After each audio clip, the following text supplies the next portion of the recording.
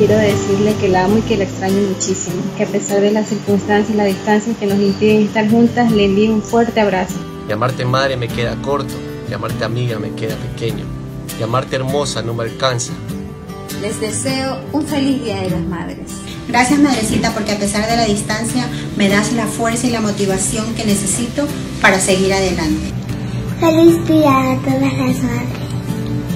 Cada vez que salgo de mi casa, lo primero que hago es pedir la bendición de mi mamá.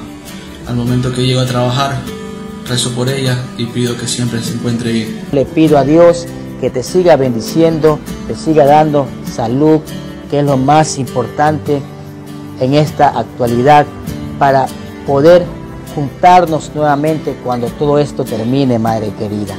Honremos y valoremos y amemos a nuestra Madre